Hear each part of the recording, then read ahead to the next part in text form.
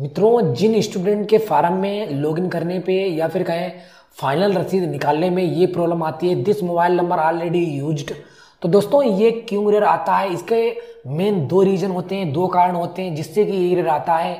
और दोनों जो कार्ड है, उनके हम दोनों के फार्म लाए हुए हैं। और दोनों कार्ड आपको हम बता देंगे। अगर ये पूरा वीडियो आप देखते हैं तो 100 परसेंट आपकी जो this mobile number already use की जो प्रॉब्लम है वो सॉल्व हो जाएगी।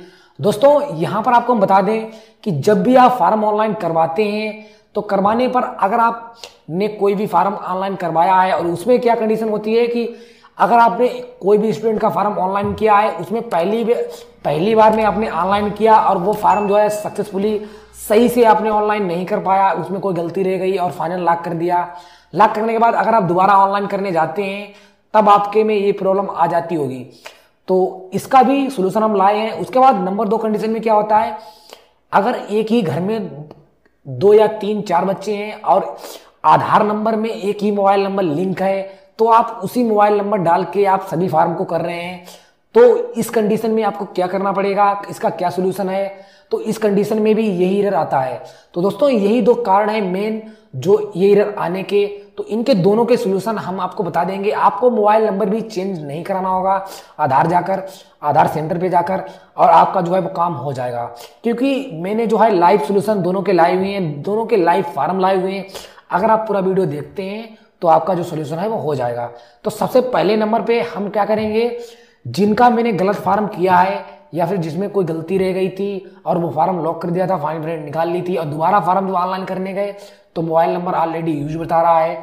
तो इनका जो है मैंने किस तरीके से सोल्यूशन निकाला है, अभी आपको हम दिखा देते हैं। तो यहाँ पर हम सबसे पहले फार्म को, जो स्टूडेंट का फार्म है, उनका हम फार्म को लॉगिन करेंगे और लॉगिन करने के बाद जो है आपको हम दिखाएँगे कि मैंने किस तरीके से इनकी जो फाइनल रसीद है वो निकाली है। और दोनों फार्म आप देख लीजिएगा, वहाँ पर जो है रजिस्ट्रेशन नंबर पिता जी का नाम और और नाम। जो हम लास्ट के अंक हैं, वो हम दे देंगे। तो यहाँ पर सबसे पहले हम इनका जो पूरी डिटेल है रजिस्ट्रेशन नंबर मोबाइल नंबर और पासवर्ड और कैप्चा डाल के लॉगिन कर लेते हैं। तो यहाँ पर हम लॉगिन कर लेते हैं।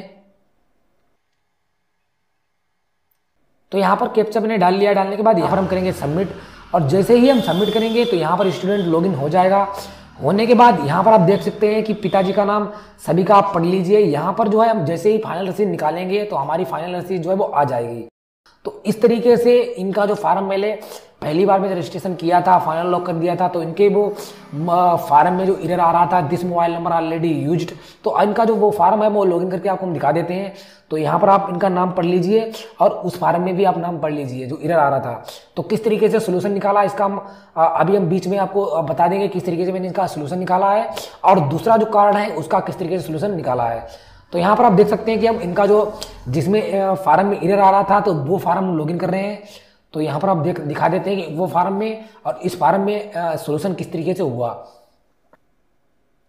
तो उसी प्रकार यहाँ पर हम रजिस्ट्रेशन नंबर और मोबाइल नंबर और पासवर्ड और कैप्चर डाल के लॉगिन कर लेते हैं। और सबमिट करेंगे। जैसे ही हम सबमिट करेंगे, जैसे ही सबमिट करते हैं, इनके फार्म में लॉगिन हो जाएँगे और लॉगिन होने के बाद यहाँ पर आप नाम और रजिस्ट्रेशन नंबर पिताजी का नाम पढ़ लीजिए और यहाँ पर वही फार्म उन्हीं का फार्म ये वाला है। तो इसको हम यहाँ से जैसे ही इनकी फाइनल लॉक लिखाते हैं तो क्या होता है कि वहाँ पर this mobile number already use बता रहा है। क्योंकि इनका पहली बार भरा था लॉक कर दिया था, वो उसमें कुछ डिटेल गलत हो गई थी तो इसलिए मैंने जब दोबारा भरा तो इनका this mobile number already use बता रहा था।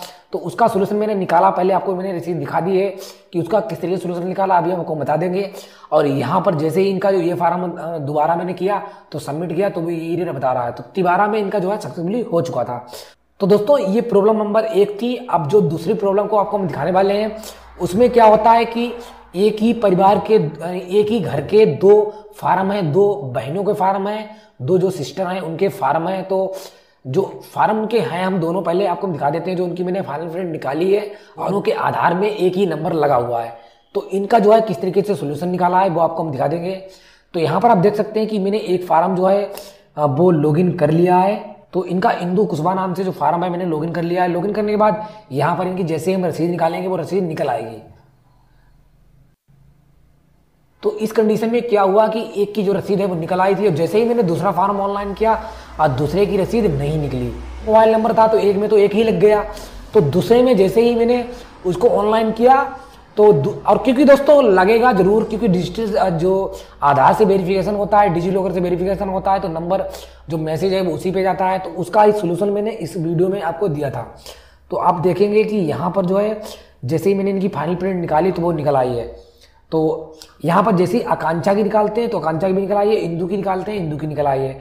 तो इनका हम दोनों का सोल्यूशन आपको बता दें क्या होता है। जब भी आप ऑनलाइन करें तो एक चीज़ का आप ध्यान रखें कि अगर आपने किसी का फॉर्म गलत कर रखा है तो आप क्या करें रजिस्ट्रेशन जब आप करते हैं तो वहाँ पर जो है मोबाइल नंबर किसी दूसरे पर्सन का यूज़ कर लें और जब आधार की ओटीपी जाए, आप उसी ओटीपी को सिर्फ़ डालें, तब आपका जो 100 परसेंट सोल्यूशन है वो हो जाएगा। नंबर दो कंडीशन में आपको क्या करना है?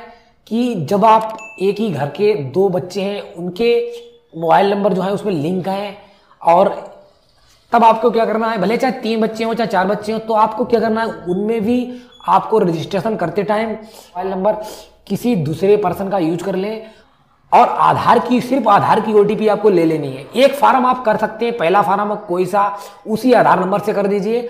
जब आप दूसरा फार्म करने जाएँ तब आप दूसरे का, किसी का रजिस्ट्रेशन नंबर में डाल दीजिए, दो बार मैसेज आएगा उसका और एक बार मैसेज आएगा आधार का। कितने भी फार्म आप ऐसे कर सकते हैं, यही इसको सोल्यूशन है। अगर आपको फिर भी समझ में नहीं आता तो कमेंट बॉक्स में आप कमेंट करके पूछ सकते हैं कि मेरा फार्म नहीं हो रहा है, इस तरीके से भी कोई और रीजन आ रहा है, कोई और कारण आ रहा है तो आप मुझसे कमेंट बॉक्स में कमेंट कीजिए। तुरंत रिप्लाई करेंगे। तो दोस्तों, आज की वीडियो अगर हेल्पफुल रही हो तो वीडियो को लाइक कीजिए, साथ ही चैनल को सब्सक्राइब